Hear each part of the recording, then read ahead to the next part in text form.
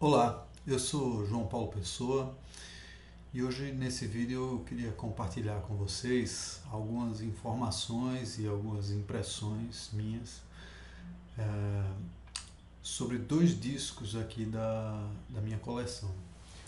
O primeiro deles é esse aqui, do Goran Solskjaer, né, junto com a Orpheus Chamber Orchestra né, onde eles tocam música de Joaquim Rodrigo e de Heitor Villa-Lobos. São concertos para violão e orquestra. Então, de Joaquim Rodrigo eles tocam o Concerto de Aranjuez e a Fantasia para o Gentilhombre. E de Villa-Lobos eles tocam o Concerto para violão e pequena orquestra. E o outro disco, o outro disco que eu queria compartilhar aqui com vocês, informações sobre eles, sobre ele, esse aqui do Deep Purple, que é uma banda que eu gosto bastante, uma banda de rock né, dos anos final dos anos 60, início dos 70 e que é, gravaram vários e vários discos. Esse disco aqui é um disco em que eles tocam um concerto para grupo e orquestra, escrito pelo John Lord com regência do Malcolm Arnold. Né? Então a gente vai falar sobre ele daqui a pouco. Bom, Sobre o, o primeiro disco, né, sobre esse CD do Goran Solskjaer, importante vocês saberem um pouco, não sei se vocês conhecem um pouco sobre o Goran Solskjaer, ele é um violonista sueco e ele é bastante famoso pelas gravações que ele tem com o alto guitar, né, que é um violão de 11 cordas com afinação próxima do alaúde. É, mas nesse disco aqui ele toca violão de seis cordas, né, o violão convencional. E ele é um artista da Deutsche Grammophon, né? Então, como todos os artistas que são que gravam com esse selo, é uma, um nível de excelência incrível, é um toque muito muito limpo, né? E a Orpheus Chamber Or Orchestra também é muito interessante, uma orquestra fundada em 1972, cuja principal característica é não ter um, um regente. Né? Então é uma pequena orquestra onde os músicos é que tomam as decisões interpretativas. Né? Então é muito interessante a gente ver esse a gente ouvir esse repertório sendo abordado por uma, uma orquestra que não tem regente. Né? Eu gostei muito do, do resultado. Né? São, um, o Goran Solskjaer é um violonista de extrema sensibilidade e bom gosto. Né? Então eu realmente recomendo a escuta dessas gravações que estão nesse CD. Né? Particularmente o concerto de Vila Lobos eu gostei bastante. Claro que os de Rodrigo também estão fantásticos, mas para mim o que se destaca mais é a interpretação de Goran Solskjaer e da Orpheus Chamber Orchestra do concerto para violão e orquestra de Heitor Villa Lobos. Tá? Nesse CD aqui. E uma outra informação interessante é que eu comprei muito barato esse CD aqui. Eu acho que é, agora, nessa data que eu estou gravando esse vídeo, provavelmente você encontra ainda aí nas lojas virtuais bem barato esse CD aqui. Vale muito a pena. Então fica aí essa recomendação, essa dica. Esse outro disco aqui também não é um disco raro de se encontrar, provavelmente você encontra para ouvir em, em, streamings, né? ou no próprio YouTube você encontra documentários sobre é, essa gravação e sobre esse disco. A, o Deep Purple é uma banda de que foi um uma das bandas pioneiras assim do heavy metal e do hard rock, né?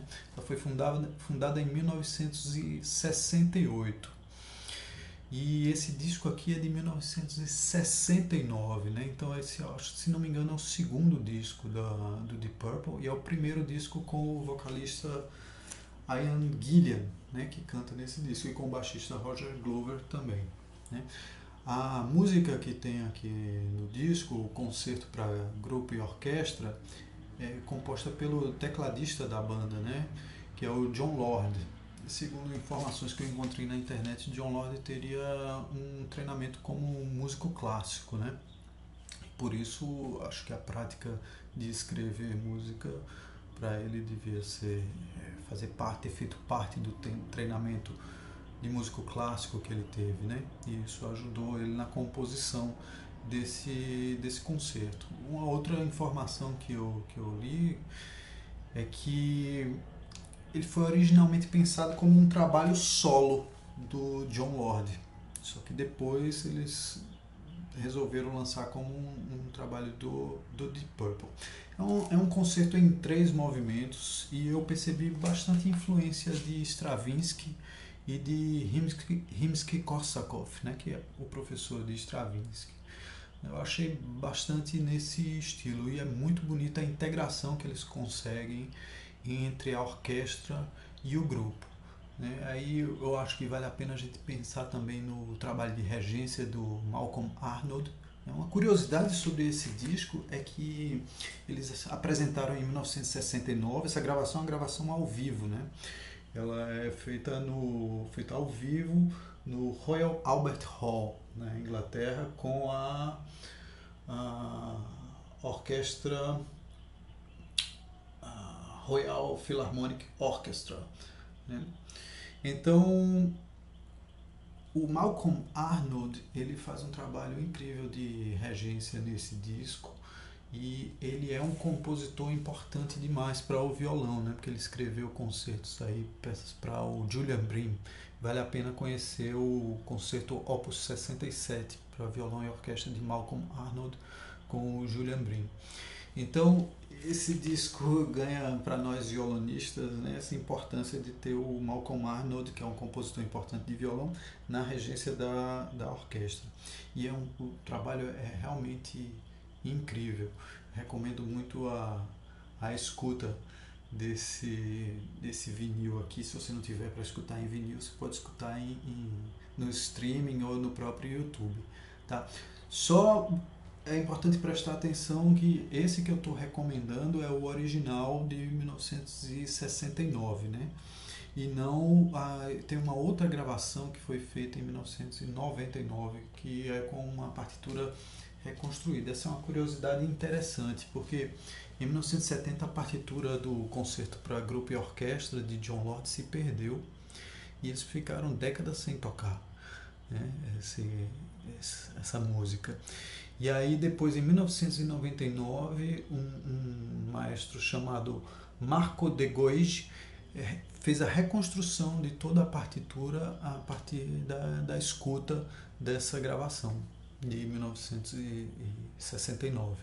Né? Então ficam aí essas curiosidades e essa minha impressão sobre esses dois trabalhos que eu recomendo como escuta para vocês, tá?